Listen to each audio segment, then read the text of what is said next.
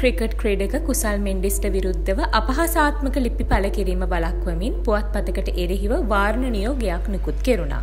ඒ කොළඹ ඩිස්ත්‍රික් අධිකරණය මගින්. තමන්ට සිදුව අපහස කිරීමක් සම්බන්ධයෙන් රුපියල් මිලියන හයසියක වන්දයක් ඉල්ලා කුසල් මෙන්ඩිස් විසින් ගොුණු කළ පෙත්සමක් සලකා වැලීමේදී මෙම වාර්ණ නියෝගය නිකුත් කළ බව සඳහන්. තමන්ට එරෙහි අපහසාත්මක ප්‍රකාශන වැරැක්වීම සඳහා වාර්ණ නියෝගයක් නිකුත් කරන ලෙස ඔහු මෙම පෙත්සමෙන් ඉල්ලා තිබුණා.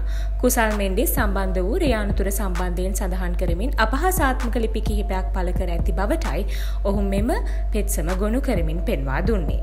මීට අදාළ නඩුව ලබන දහ නම වෙනදා යාලී කැඳවීමට නියමිතයි. මෙවැනි නවතම ක්‍රීඩා තොරතුරු දැනැනීමට අපගේ SL ස්පෝට් YouTube චනලය දැන්ම සබස්ක්‍රයිබ් කරන්න.